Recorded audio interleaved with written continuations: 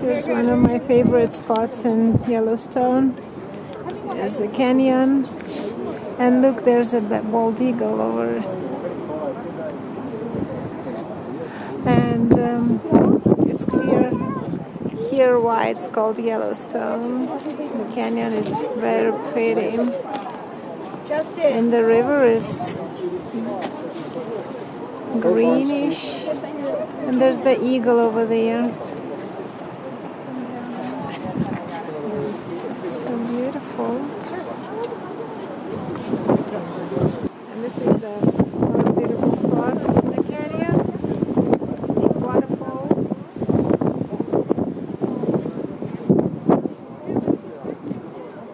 The river is mighty and beautiful and green.